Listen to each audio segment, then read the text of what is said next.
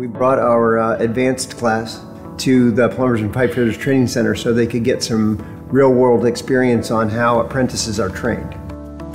Well, it's, it's actually a great event. I was excited when Faith contacted me. We had done this event once before with another school district in Sequoia or San Mateo County. They're very important to us.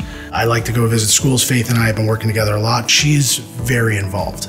And when she contacted us, we said, well, let's get some projects together. I had spoken to the Menlo Atherton uh, Woods class already, very focused kids, very intent on learning. So we thought that was a great first opportunity to get somebody in the room. It was wonderful.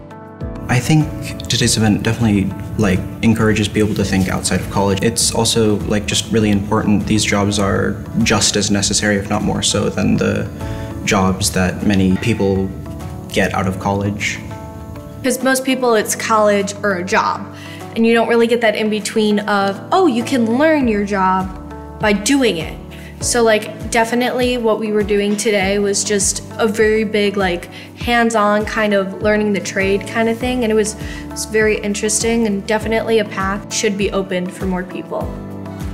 Sequoia Union High School District is awesome. We're, we're big fans of them. They've supported us, we support them. We have multiple students that are in here from Sequoia Union High School District.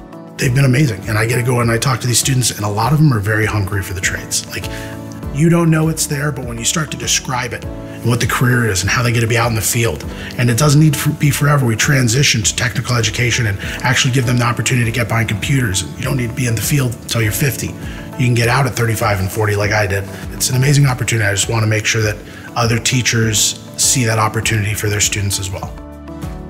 I think these kinds of opportunities are really valuable um, because there are things that we can't cover at school and it's a real it's really a real world experience that um, we don't have available to us very often. So I like to take advantage as much as possible, and I hope it means we'll be doing it more.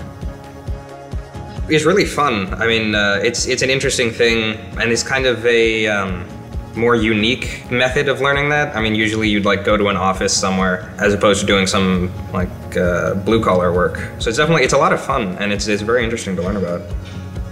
If I had something to fall back on, the trades are definitely a really big factor and something that I, yeah, definitely has opened up some different paths that you can go down. What we are is an opportunity to show direction to the rudderless.